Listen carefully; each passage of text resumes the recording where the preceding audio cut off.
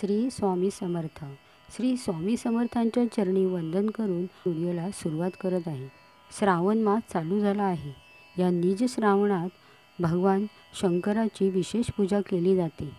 निज श्रावण मास भगवान महादेवाला फार प्रिय आहे. श्रावण महिन्यात शंकराची पूजा केली जाते. या पूजेच्या वेळी काही श्लोक म्हटल्याने उत्तम फळं मिळू शकतात. तसेच चातुर्मासात भगवान विष्णू चार महिने आराम करतात. त्यावेळी भगवान शंकर जगाचे पालन करतात असे मानले जाते. याची कृतज्ञता व्यक्त करण्यासाठी श्रावण मास असतो आणि हा महिना शंकर देवाचा आवडता महिना मानला जातो. या काळात अनेक व्रतवैकल्ये केली जातात. या नीच श्रावणात शंकराचा असा कोणता श्लोक म्हटल्याने दुप्पट पुण्य मिळते? तर हा श्लोक आहे बारा ज्योतिर्लिंगांचा. ज्योती म्हणजे प्रकाश तेज ज्ञान प्रेरणा आणि चेतना ही बारा ज्योतिर्लिंगे विविध ठिकाणी भारताच्या पूर्व पश्चिम दक्षिण उत्तर भागात आहेत.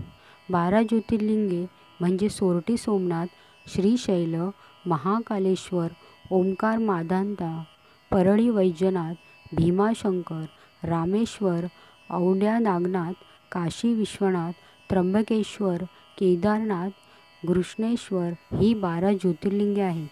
तसेच नेपाळीतील पशुपतीनाथ आणि हिमालयातील केदार ही दोन्ही मिळून एक ज्योतिर्लिंग धरले जाते. ह्या बारा ज्योतिर्लिंगांचं जे स्तोत्र ते भगवान शिवाला फार प्रिय आहे. आणि ते म्हटल्याने ह्या श्रावण मासातलं ह्या श्रावणी सोमवारचं पुण्य दुप्पटपटीने मिळते. तर ते स्तोत्र आहे द्वादश ज्योतिर्लिंग स्तोत्र.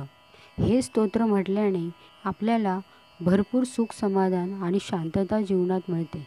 सौराष्ट्रे सोमनाथं च श्रीशैले मल्लिकार्जुनम् उज्जयिन्यां महाकालम् ओंकारं ममलेश्वरं परल्या वैद्यनाथं च डाकिण्या भीमशङ्करं सेतुबन्धे तु रामेशं नागेशं दारुकावणे वाराणस्यां तु विश्वेशं त्र्यम्बकं गौतमीतटे हिमालये तु केदारं घृष्मेशं तु शिवालये एतानि ज्योतिर्लिङ्गानि सायं प्रातः पठेन्नरः सप्तजन्मं कृतं पापं स्मरणेन विनश्यति।